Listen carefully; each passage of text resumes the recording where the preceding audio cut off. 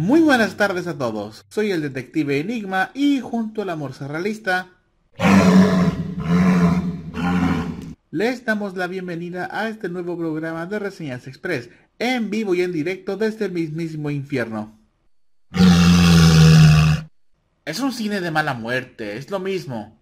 En el episodio de esta noche reseñaremos de Halloween Revenge 4, Infernales y Limones, hay mucho que cubrir y poco tiempo para hacerlo, así que vamos por partes. En esta cuarta entrega en la serie de cortometrajes del mismo nombre, tenemos a múltiples personajes de distintas series viajando al infierno para atraer a un colega de vuelta de los muertos.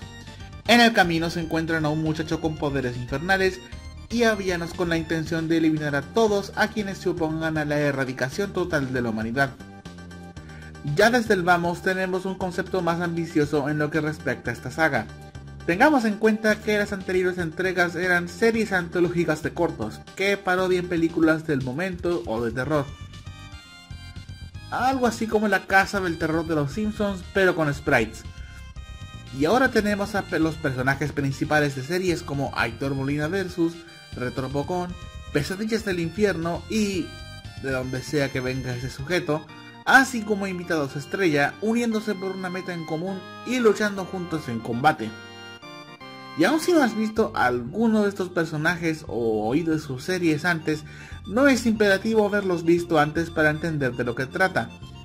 En cuanto a que también se mantiene la trama, si bien vendría siendo la secuela de dos series al mismo tiempo, ya que hay personajes y elementos de trama que podemos ver en la escena antes de la intro y al final, Tampoco es necesario ver ninguna entrega anterior para entender la historia, así que me alegra decir que es autosuficiente. Además, tuvo algunos giros sorprendentes que logran mantener el interés, una batalla final y discursos emocionantes. Hasta podría decirse que deja películas de Hollywood con alto presupuesto y con la misma trama en vergüenza. Ahora, si tendría algo que decir en contra, sería que el ritmo en el que se desenvuelve la historia es algo irregular. No sé si es porque algunas escenas se hayan reescrito o añadido a última hora, pero ya ha pasado acto y medio en el infierno con todo y clímax. Nuestros héroes salen de ahí más rápido que como les tomó llegar y sin transición alguna. Encima, ya para cuando cerramos la película con tributo a los miserables, rellenamos el último minuto con un montaje, bastante emotivo por cierto, antes de los créditos Fuera de eso, la trama es bastante digerible. Es aquí donde el especial decae bastante, así que partamos por lo positivo primero. Escenas como la batalla final están, a mi parecer, bien hechas, y se nota que varias secuencias de esta están animadas con esfuerzo, como ya es costumbre con el director Oscar Alejandro Bossi, con su serie Pesadillas del Infierno. Y lo que voy a decir ahora no es por querer ser duro con él, pero si pudiera empezar por algo... Quizás sea por el acercamiento hecho para encajar con la resolución, pero la calidad de la imagen es un poquito borrosa en lo que dura el especial. Pero eso no es nada comparado con algunos sprites siendo obvios recolors de otros. Como por ejemplo, se nota que el profesor Lokovich claramente no es un doctor Wiley con otro color, aunque por lo menos se vea decente. Johannes Lázaro claramente no es un Pikachu gris con sombrero de Luffy y ni siquiera fue diseñado por Oscar. Y ni hablemos de ese robot rojo, que encima es referencia a Retrobocon. Para ser justos, el especial es autoconsciente de esto y hablaré de eso más adelante. Pero luego tenemos a personajes haciendo una pose durante casi todo el cortometraje, como el Diablo, Maiden Riku o Escapocon, excepto cuando construye algo. Y ni hablemos del sonido. Ni siquiera voy a hablar de los diferentes filtros de voz que Oscar le pone a distintos personajes. Es de esperarse, considerando que es él quien monta cada episodio. Y lo que voy a decir ahora probablemente no sea el caso con los episodios actuales de PDI, pero acá la edición de sonido es un desorden. Por ejemplo, hay veces donde me tengo que guiar por los subtítulos de los personajes para entender qué rayos están diciendo.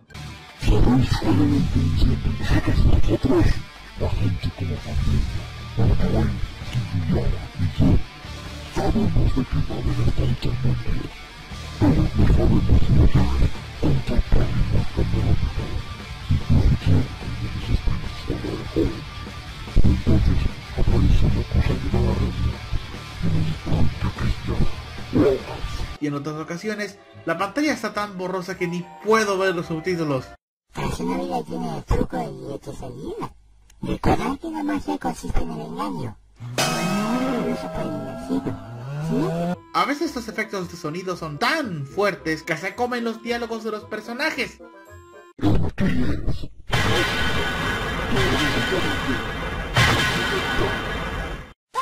Entonces, significa gestionar la remota para averiguar el paradero de Reddy por nuestra ¡Claro que sí! ¡Aquí estamos buscando!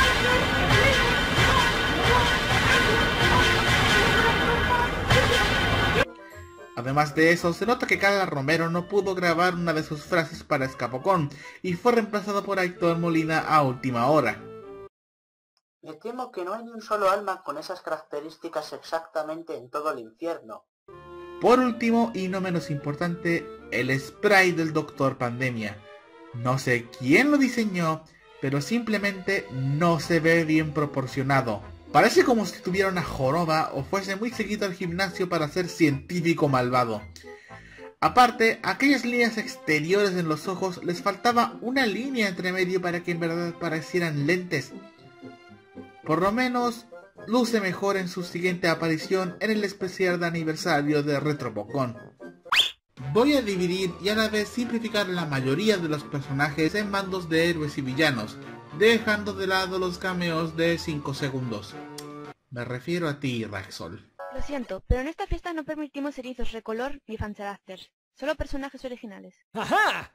Yo soy Raxol, el asesino. Pues con más razón aún. ¿Cómo pretendes que dejemos pasar a un asesino? ¡Largo de aquí! Primero tenemos a nuestro grupo de héroes, liderado por Aitor Molina, armado de martillo Smith. De todos los héroes, él es quien quizás tenga el arco argumental más definido, viéndose determinado en traer a su colega de vuelta a la Tierra, encontrándose desafiado por los villanos tanto en batalla como dentro de su mente, a pesar de no tener una personalidad tan definida en aquel entonces en comparación al resto.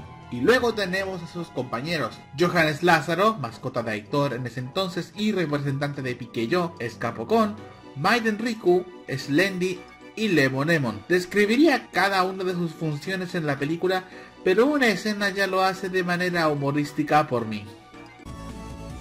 ¿Qué tal con mi nave? Está ahí afuera. Solo hay que hacerle unos arreglos y estará lista para ir a cualquier sitio. Yo te acompaño. Necesitaréis un niño kawaii para tener masas femeninas. Y a un experto en robótica. Y una chica, para que no os confundan con un puñado de maricones. Yo tengo un martillo, si eso sirve de algo. Ahora solo necesitamos un dinero para que hacemos algo y ¡Lázaro, ¿qué haces? ¡Ah, pero al final no hacemos el sacrificio! Cada uno de ellos representa a su serie bastante bien y tienen al menos un momento destacable, además de la batalla final. Por ejemplo, Escapocón presenta una reseña tal y como en su programa, Maiden Rico es la voz de la razón, Lemonemon y Johannes Lázaro saben cómo animar a sus colegas, e incluso una conversación hace que nosotros nos empaticemos con Slendy antes de un suceso imprevisto que da lugar al tercer acto. ¿Sufre por la alimentación? ¡Qué estupidez! No tienes por qué dejar de lado tus hábitos solo porque la gente de tu alrededor no te acepte tal y como eres. Todo el mundo es diferente aquí, Slendy. Si alguien critica a los demás por ser diferentes, no sabe lo que se pierde. Slendy, acepta tus diferencias, si no, no habrá nadie que te acepte. Y si tu padre no te respeta por ello, lo hará con el tiempo. ¿Y paradillas si no la guerra? Con paradillas y no la guerra. Y entre los héroes, no podemos dejar fuera a Oscar y al Diablo, pertenecientes a PDI. Si bien este último no hace mucho más allá de ser carne de cañón para los villanos y aquella escena post créditos, es demasiado fuerte para mí. Oscar sí hace gala de sus habilidades en combate tal y como en su serie. Y también muestra unas buenas cualidades de liderazgo, inspirando a los demás héroes a seguir en la pelea contra dos de los villanos.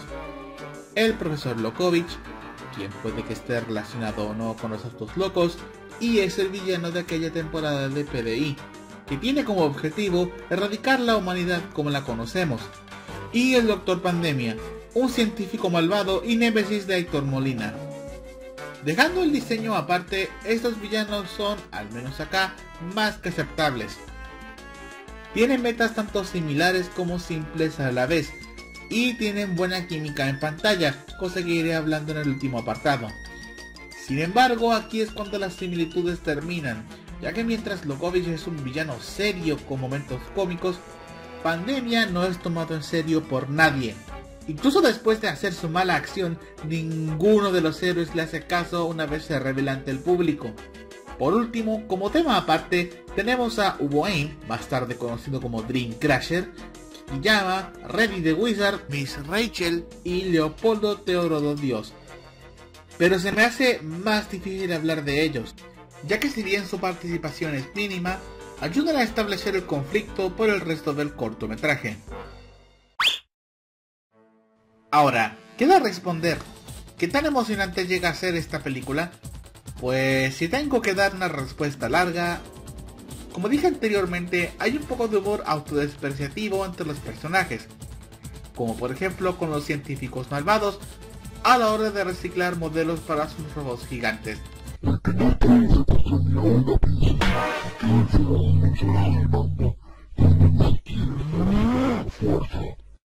¡Cállate! Al menos yo no tengo que robar los diseños para mis robots.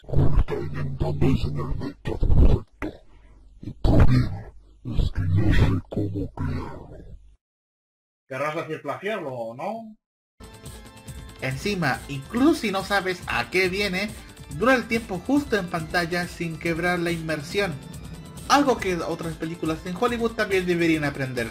También cabe destacar un buen balance entre el drama y la comedia. Como pudimos ver, hay varios momentos dramáticos de principio a fin, que establecen el conflicto y elevan la tensión, como Dream Crasher capturando a Reddy, la historia de fondo de Pandemia, el discurso despreciativo de Lokovich a nuestros héroes, e incluso...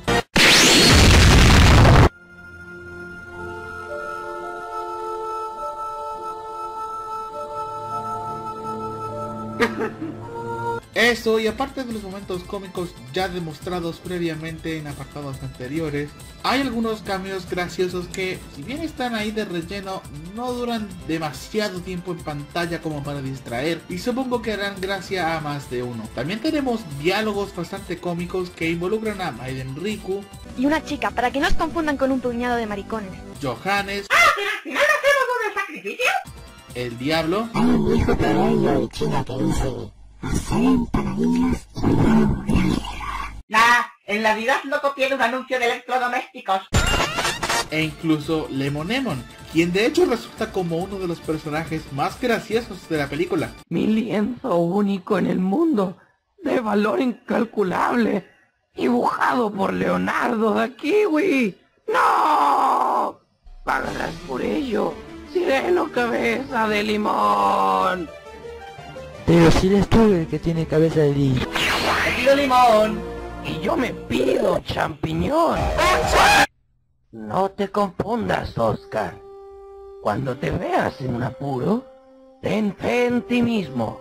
Y esta chapa te concederá invencibilidad, permitiéndote sobrevivir a cualquier ataque. ¡Pero viendo basura de chapa en la que atascaba el sistema de alimentación de la nave! Se ve que en el infierno solo beben azufre. De hecho, ya casi tengo ganas de ver más de su material. ¡Oh, maldición! Ahora he de mencionar en detalle las escenas de batalla una vez los personajes llegan al infierno. La primera es algo corta y más cómica, ya que Oscar y Lemon dan más batalla entre sí, mientras los demás son perseguidos por el robot araña de Escapocón, que encima Maiden aplasta. Y termina tan pronto Johannes trae empanadillas para todos, pero luego tenemos la batalla final, donde los personajes de cada bando lucen por su cuenta, y simplemente hay mucho de qué hablar. Tenemos a Pandemia atacando a traición, Maiden Rico reflejando uno de sus disparos solo para ser detenido por el profesor Lokovich, Lokovich con su rayo mortal, Escabocón y Maiden Rico con la estrategia de la patada traicionera, el ataque combinado de Aitor, Johannes y Martillo Smith, y Oscar combatiendo tanto por su cuenta como fusionado junto a Lemon Lemon. Todos los personajes de cada bando se lucen y cada minuto es emocionante. Si bien Lokovic es derrotado algo anticlimáticamente, todo termina de manera muy intrigante entre Aitor y Pandemia, con lo que parece ser una lucha interna dentro de su mente, antes de cerrar la película de manera agridulce. Ven conmigo al más allá. ¿O no ves que eso terminó? Ven a mí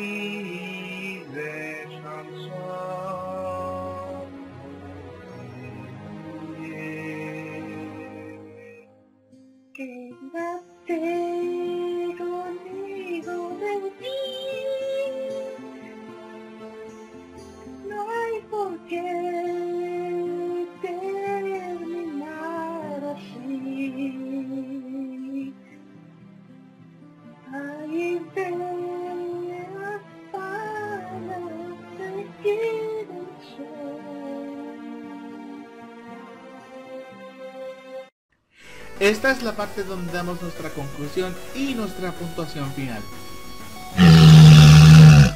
¿Y qué podemos decir de esta película?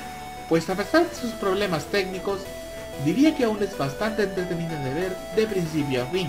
Y rompe el molde en cuanto a estos especiales de Halloween se refiere, siendo el más ambicioso en su momento. Si quieres introducir Pesadillas del Infierno, Retrobocón o Aitor Molina versus a un casual, este puede ser un buen punto de partida. La Morse y yo le damos a Infernales y Limones 3 limones y medio después de 5. Y eso vendría siendo todo por esta edición. Les agradecemos por venir, pero esta sala de cine ha cerrado por hoy. Que tengan un buen día.